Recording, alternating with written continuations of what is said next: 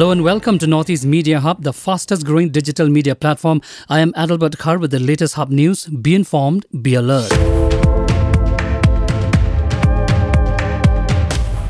Chief Minister Conrad K. Sangma and member of the High Powered Committee HPC on Friday informed that IIT Guwahati will carry out a third party audit to investigate the dome collapse incident at New Meghalaya Assembly Building at Mawdyangdyang, Shillong.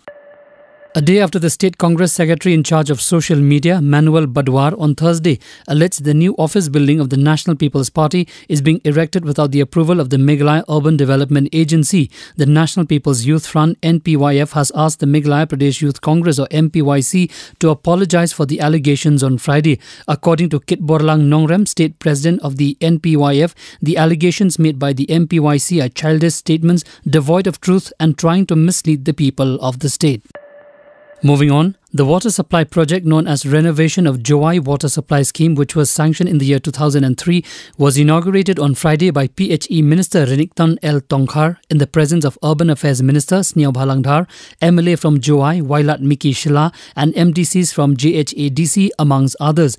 The sanction amount for the scheme is rupees 15.41 crores under the NLCPR. During the day, foundation stones were also laid for Minturu Water Supply Scheme, amounting to rupees 32 crores, and the combined Klit water supply scheme amounting rupees 24 crores. In a bid to expedite the process of restoring railway connectivity as early as possible, the Railway Department, along with the assistance of the Indian Army, has constructed a causeway at Maibang in Assam's Dima Hasao district. The causeway will enable necessary materials, machinery, as well as railway workers to reach the areas for repair work of the damaged railway lines due to floods.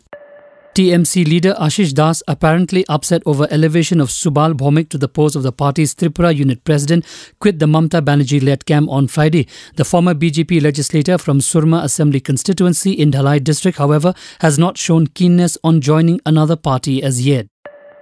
Seven army soldiers were killed and 19 others injured in Turtuk sector of Ladakh on Friday when the vehicle they were traveling in skidded off the road and fell into the Shyok River, army officials said. The accident took place around 9 am at a place that is around 25 kilometers from Thoise. The official said the vehicle fell into the Shyok River to a depth of approximately 50 to 60 feet from the road.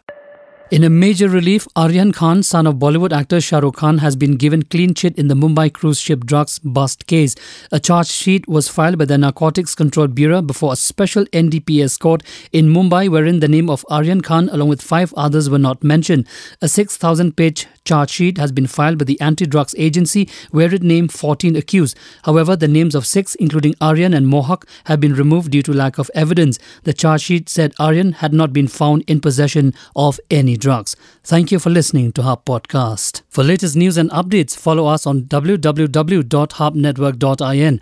Download Hub News app in your mobile from Google Play Store and Apple App Store. For promotion and publicity, write to us at info at hubnetwork.in. Thank you, Kublai Shibon, Mithela.